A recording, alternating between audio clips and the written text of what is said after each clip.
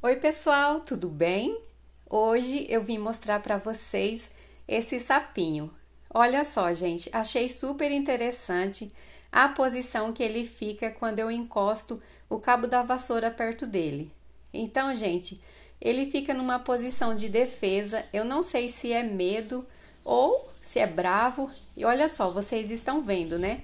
Ele tá em pezinho, gente. Eu não sei se esse sapinho é um sapinho cururu ou se é outra espécie de sapo. Se você sabe, deixa aí nos comentários, tá bom, gente? Ele é um sapinho meio avermelhado, dá para vocês perceber, né, que ele é meio assim, tipo meio colorido, mas pode ser também um sapinho cururu, né, gente? E olha como que ele fica na posição de defesa, achando que eu vou atacar ele, fazer algum mal a ele, né, gente? Mas claro que eu não vou fazer nada com ele, né? E olha só, então resolvi vir mostrar para vocês. Legal, né?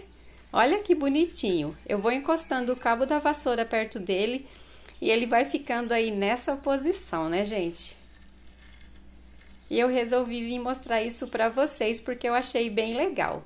E o canal aqui é Canto Natural e Dicas, e se você gosta de ver esse tipo de vídeo, já deixa seu like, se inscreva no canal se ainda não for inscrito, tá bom, gente?